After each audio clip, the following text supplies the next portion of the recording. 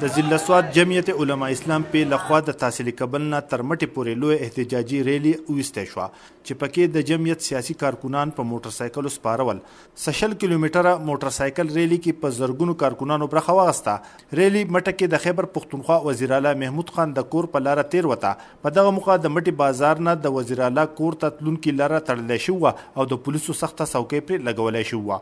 د جمعيت کارکنانو مټه سمبټ کې وروسته لويه جلسه وکړه چې په کې مشران وويل دوی د خېبر پښتونخوا وزيراعلا هغه بيانيه دلته مسترد کړې کوم کې چې هغه ويلي ول چې د جمعيت کارکنان به اسلام اباد ته احتجاج ته پرې نه ښودی شي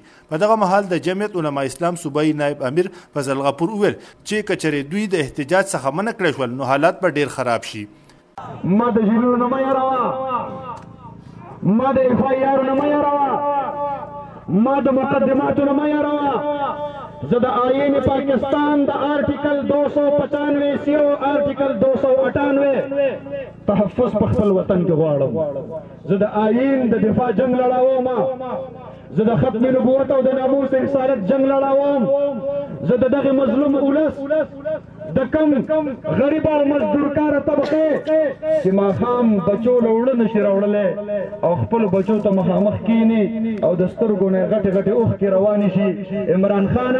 زه د هغه غریبانو د سترګو د اوخ کو وچولو د پاره پر روډ باندې نن ولاړ یم جمعیت علما اسلام د حکومت په ضد د اکتوبر په ویشتمه نیټه اسلام آباد کې لوی احتجاجي جلسې او درنې اعلان کړي دوی په وینا موجوده حکومت ولس ته مشکلات جوړ کړي او وزیر اعظم عمران خان د خپل څوکۍ پریدي دغه احتجاج کې د مخالفو ګوندونو نور سیاسي پارټیانو هم د مرستې کولو پخلی کړي نیاز احمد خان مشال ریډیو سوات